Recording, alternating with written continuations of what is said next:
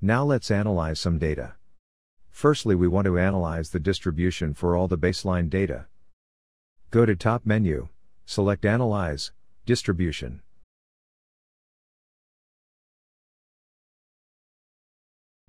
In this distribution window, select baseline 1 to 4.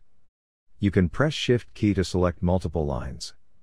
Drag them into Y, column box, and press OK.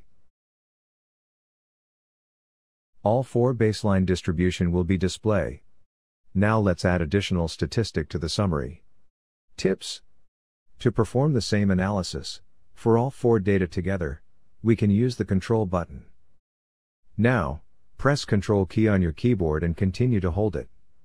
Go to the small red triangle near Summary Statistic header, click on it, and select Customize Summary Statistic. You can now release the Control key. Now select Minimum, Maximum and Range, then select OK. You can see, all the four data will have these info in the summary statistic. To view the data horizontally, Move your mouse to small triangle near distribution and click on it. Then choose stack option.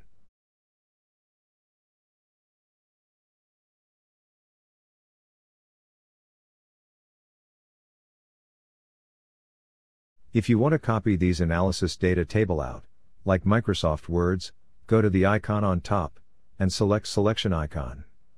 You can see that your mouse pointer will become the selection icon. Click on the header, of the table to select it. Then use Ctrl C and V to paste it to words.